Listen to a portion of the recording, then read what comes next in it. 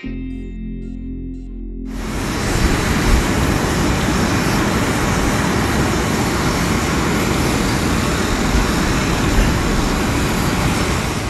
visited with him in Israel when I had my trip there, and uh, I met him in Canada many, many times, and uh, and uh, he, he was quite a great guy.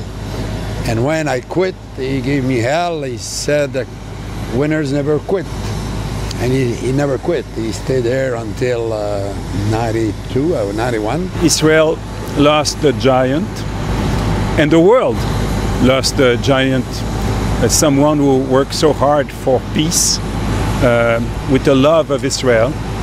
And because of that, we need to show respect and support.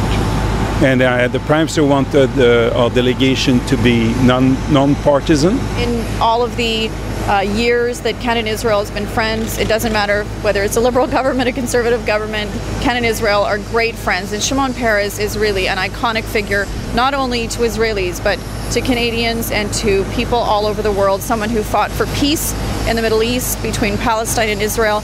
And really, he is a symbol of so much more that needs to be done. Um, and I think he leaves an incredible legacy for those who believe that there's still an opportunity to find peace in the Middle East. So I'm just very honored to attend.